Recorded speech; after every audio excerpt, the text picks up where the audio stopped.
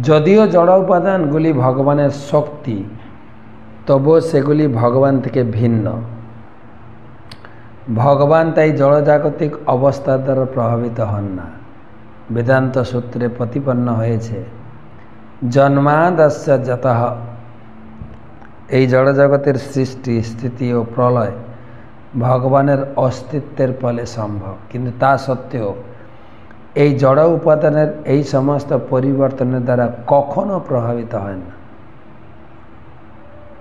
সেই কথাটি প্রবাহ শব্দটি দ্বারা সূচিত হয়েছে। সূর্য সর্বদাই উজ্জ্বলভাবে প্রকাশিত এবং কখনই মেঘ অথবা অন্ধকারের দ্বারা প্রভাবিত হয় না। তেমনি পরমেশ্বর ভগবানও সর্বদা তার পরা প্রকৃতি বিরাজ করেন এবং তিনি কখনো জড় প্রবাহের দ্বারা প্রভাবিত হন না। ব্রহ্মসিংহতে বলা হয়েছে ঈশ্বর পরম কৃষ্ণ সচ্চিত আনন্দ বিগ্রহ। অনাদিরাদি গোবিন্দ সর্বকারণ কারণম। শ্রীকৃষ্ণ যিনি গোবিন্দ নামে পরিচিত, তিনি হচ্ছেন পরমেশ্বর ভগবান, তার দেহ সচ্চিদানন্দময়। তিনি সব কিছুর আদি উৎস, তার কোনো উৎস নেই। এবং তিনি সর্বকারণের পরম কারণ। যদিও তিনি সর্বকারণের পরম কারণ তবুও তিনি পরম এবং তার রূপ সচ্চিত আনন্দময়। সব কিছুর আশ্রয়, সেটি হচ্ছে সমস্ত শাস্ত্রের অভিমত। শ্রীকৃষ্ণ হচ্ছেন এই জড় জগতের নিমিত্ত কারণ এবং জড়া প্রকৃতি হচ্ছে উপাদান কারণ। সেই চৈতন্য চরিতামিতে বলা হয়েছে যে, প্রকৃতিতে সব কিছু কারণ বলে মনে করা হয়। ছাগলের গলার স্তনকে দুধের কারণ বলে মনে হতে, মনে করার মতো। জড়া প্রকৃতি হচ্ছে জড় জগতের গৌণ কারণ, কিন্তু মূল কারণ হচ্ছে নারায়ণ। ছাগ গলস্তন বলে না? ছাগলের গলায় একটা মাংস মিন্টে ঝুলে থাকে না? কেউ যদি মনে করো ওটাও ছাগলের ওখান থেকে দুধ পাওয়া যাবে, না। ঠিক সেই রকম আমাদের অবস্থা। আমাদের থেকে কোনো কিছু হয় না, সব হয় ভগবান থেকে। ছাগলের গলাস্থানকে দুধের কারণ বলে মনে করো। কখনো কখনো মানুষ মনে করে মৃৎ পাত্রের কারণ হচ্ছে মাটি। কোমরের চাকায় মাটির পিণ্ড থেকে অনেক ঘর তৈরি হতে দেখা যায়। এবং যদিও নির্বোধ মানুষেরা মনে করতে পারে যে চাকার উপরকার মাটি হচ্ছে ঘটের কারণ। কিন্তু যারা প্রকৃত জ্ঞানবান, তারা জানেন মূল কারণ হচ্ছে কুমোর, যে মাটিটি সংগ্রহ করছে, চাকাটি ঘোরাচ্ছে। জড়া প্রকৃতি এই জড়া জগতের সৃষ্টির সহায়ক হতে পারে, কিন্তু তা পরম কারণ মায়া ধাক্সেন প্রকৃতি শুয়েতে এসে চরাচর। হে কন্ত এই প্রকৃতি আমার নির্দেশনায় পরিচালিত হচ্ছে এবং স্থাগবর ও জঙ্গম জীবেদের উৎপন্ন করছে। ভগবান জড়া প্রকৃতির প্রতি ইক্ষণ করেন। তার ইক্ষণের প্রভাবে প্রকৃতির তিনটি গুণ ক্ষবিত হয় তখন সৃষ্টি হয় মূল কথা হচ্ছে যে জড় প্রকৃতি জড় জগতের কারণ নয় পরমেশ্বর ভগবান হচ্ছেন সর্বকারণ পরম কারণ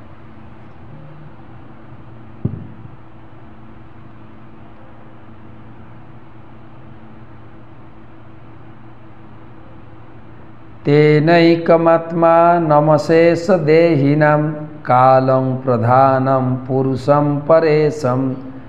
सतेजसाधस्तगुणप्रभावमात्मैकभावेन धज भज धमध्या।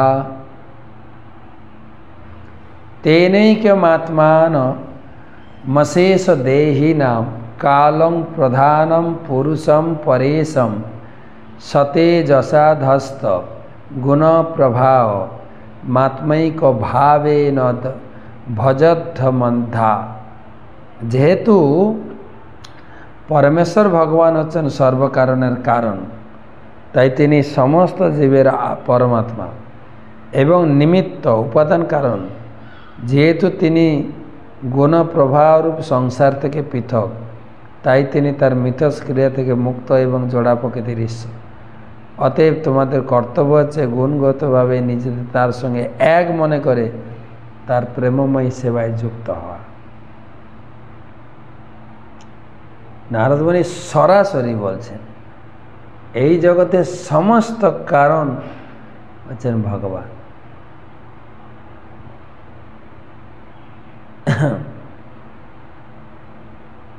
আমাদের একটা সে গল্প শোনাতো না যে একজন তহসিলদার ছিল, যে সবার কাছ থেকে ট্যাক্স কালেকশন করত। তার আন্ডারে একজন সেক্রেটারি ছিল। সে মনে করতো, আরে, গ্রামের মোড়ল তো এনি ইনি সর্বে সর্বা। ইনার কাছে সবাই এসে ট্যাক্স জমা দিয়ে যাচ্ছে। একদিন দেখছেন তহসিলদার জেলা শাসকের কাছে গিয়ে সব কিছু হিসাবের নথিপত্র তাকে জমা দিতে হচ্ছে। তখন তহসিলদার, সেক্রেটারি বলছে, কি ব্যাপার? আপনি তো সব কিছু আপনাকে আবার কারও কাছে গিয়ে মাথা নত করতে হবে বলছে, দূর বোকা, আমি সব কিছু কোথায়? আমার উপরে বস আছে না? বুঝে তাই?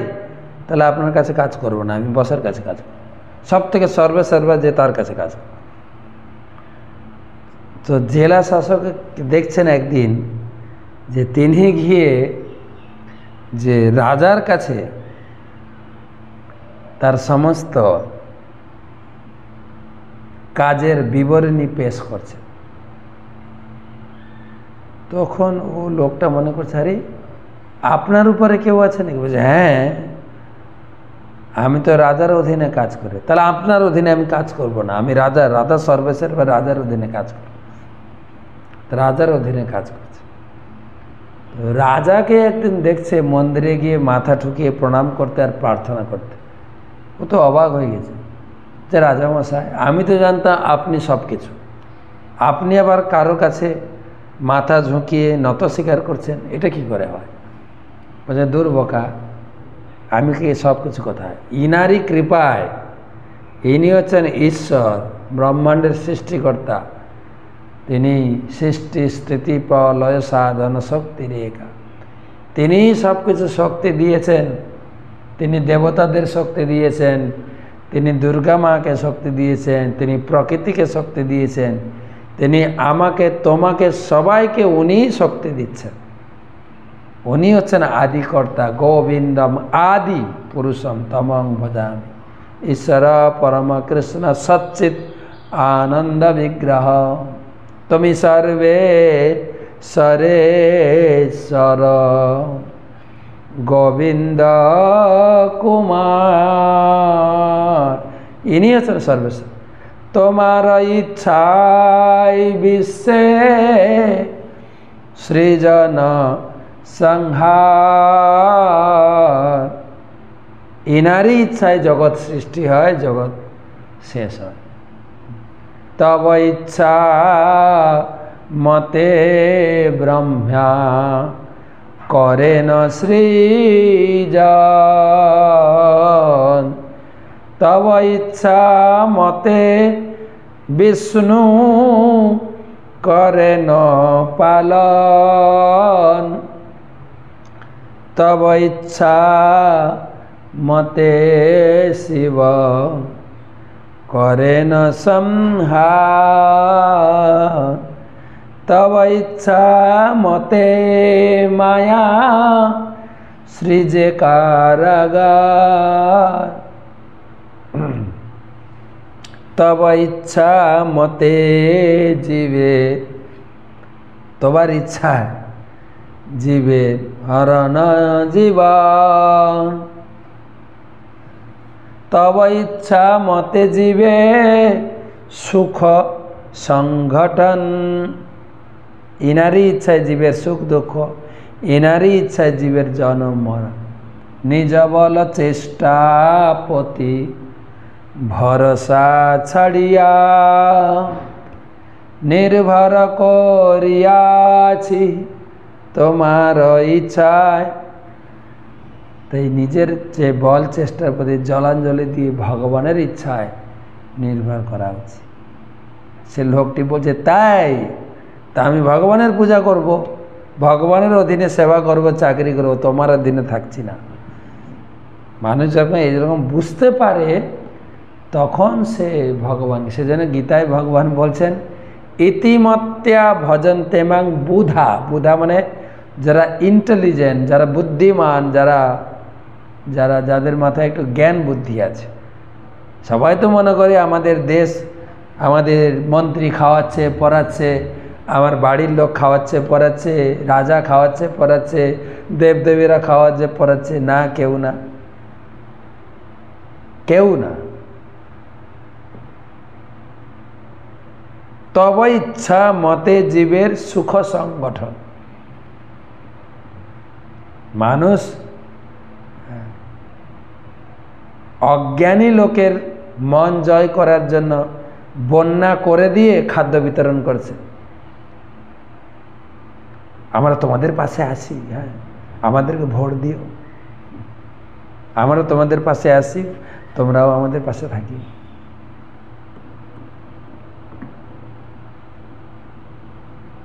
তো, তাই বুদ্ধিমান লোক, এখানে বোঝানো হচ্ছে যে মাময়িক ভাবে না ভজ ধম্মধ্যা কেবল ভগবানের পূজা করুন, ভগবানের উপর ভরসা করুন, রাখে, হরি মারে। বৈদিক বিচারে তিনটি সৃষ্টির কারণ হচ্ছে কাল, উপাদান ও স্রষ্টা।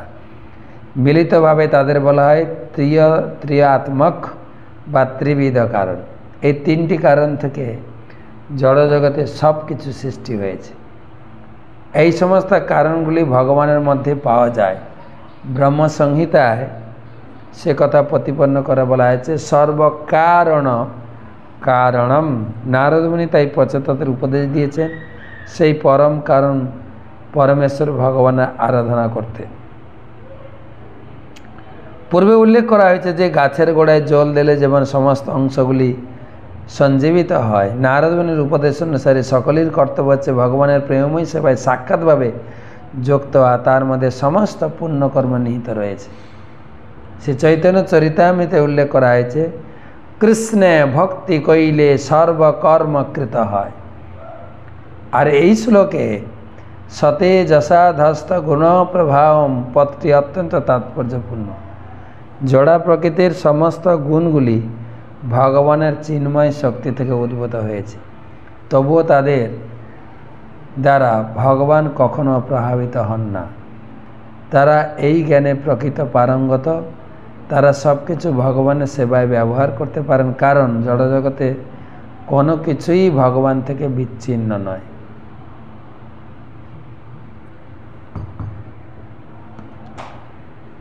তো সব কিছু ভগবানের সঙ্গে সম্পর্কযুক্ত।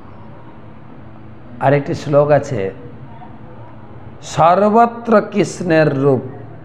করে ঝলমল, সেই দেখিবারে পায় যার আঁখি নির্ম চোখ পরিষ্কার হলে সব জায়গায় ভগবানকে দেখতে পাবে। ভগবান গীতায় তাও বলেছে সর্বত পাণি পাদম তৎ সর্বত অক্সি মুখম সর্বত শ্রুতিমান লোকে সর্বম আবৃত তিষ্ঠতি সব কিছুতে। এবং বেদে বলা হয়েছে অন্ডান্তরস্তং পরমাণু চয়ান্তরস্থ। অনু, পরমাণু, স্থাবর, জঙ্গম, সব কিছুতে ভগবান আছে।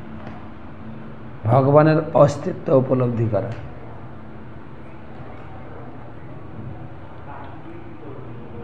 যে কথা আমরা আগে অনেকবার আলোচনা করেছি, এক গুরুদেব তার শিষ্যদের পরীক্ষা নিচ্ছিলেন যে তোমরা আসলে এই যে ভজন সাধন তপস্যা করছ, বেদ পড়ছ, বেদের উৎস, উদ্দেশ্য হচ্ছে বেদৈশ্ব সর্বই অহমেব বেদ্যা। বেদের প্রতিটি পৃষ্ঠাতে ভাগবতের প্রতিটি পৃষ্ঠাতে জড়জগতের অনু পরিমাণু দেওয়াল গাছপালা পশু পাখি সব কিছুর মধ্যে ভগবান আছে সেটাকে উপলব্ধি করতে পারছ? আমি তোমাদের পরীক্ষা নেব। তোমাদের হাতে এই কলা প্রসাদ দিলাম কলা। তোমরা লুকিয়ে খাবে যাতে কেউ না জানতে পারে এবং ভগবানও না জানতে পারে, ভগবান না দেখতে পারে।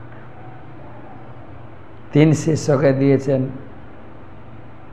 তিন শিষ্যকে আলাদা আলাদা জায়গায় পাঠিয়ে বলছে, তোমরা লুকিয়ে গোপনে খেয়ে আসবে দুই শিষ্য তারা ঘরের ভিতরে ঢুকে দরজা বন্ধ করে, লাইট ফ্যান অফ করে অন্ধকারে খেয়েছে।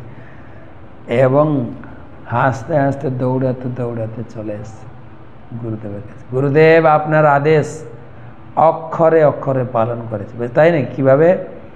না, দরজা, জানলা বন্ধ করে অন্ধকারে লুকিয়ে খেয়েছে, কেউ দেখতে পায় তৃতীয় শিষ্যটা ফিরছে না। কোথায় গেল কোথায় গেল? খুঁজে পাওয়া যায়। দেখে একটা ঘরের কোনায় সে কলাটা হাতে নিয়ে ঝরঝর করে কেঁদেই যাচ্ছে।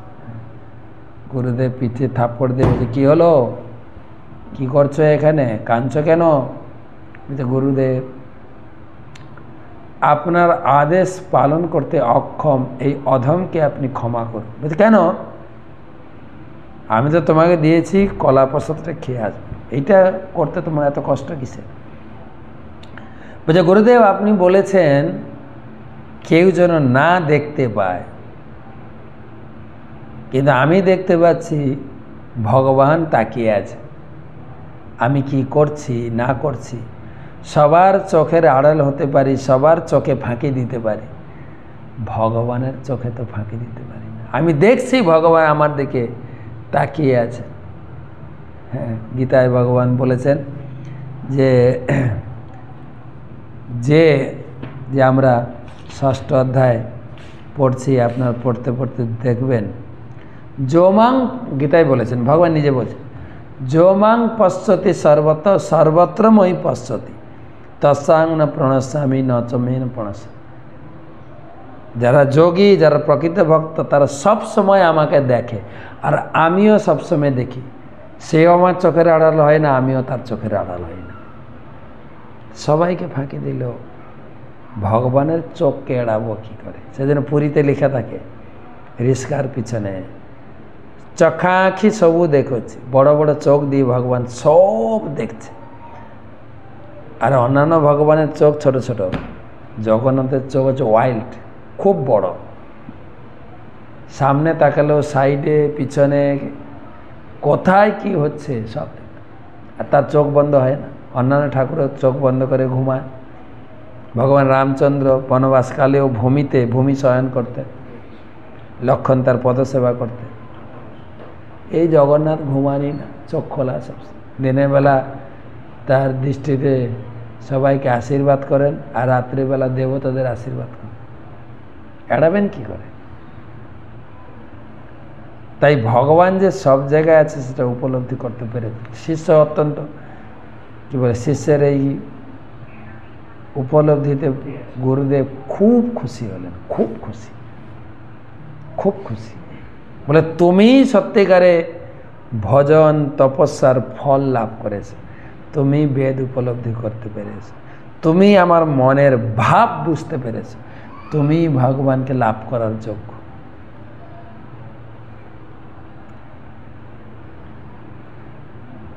কৃষ্ণে ভক্তি কইলে সর্বকর্ম। যারা এই জ্ঞানে প্রকৃতি, পারঙ্গ, তারা সব কিছু ভগবানের সেবায় ব্যবহার করতে পারেন। কারণ এই জড় জগতে কোনো কিছু তার থেকে বিচ্ছিন্ন সব কিছু তার সঙ্গে সম্পর্কযুক্ত সব কিছু আরেকটা শ্লোক দয়া সর্বভূতেষু সন্তুষ্ট যেন কেন বা সর্ব ইন্দ্রিয় প্রশান্তান সর্ব ইন্দ্রিয় প্রশান্ত্যা চ তুষ্যতাসু জনার্দন দয়া সর্বভূতেষু সন্তুষ্ট যেন কেন বা সর্বেন্দ্রিয় পশা প্রশান্ত্যা চ তুষ্যতাসু জনার্দন। সর্বভূতে দয়া, যথালাভে সন্তোষ, বিষয় থেকে সমস্ত ইন্দ্রিয়ের নির্গহ, নিগ্রহ, এই সবের দ্বারা ভগবান জনার্দন শীঘ্রই প্রসন্ন হন।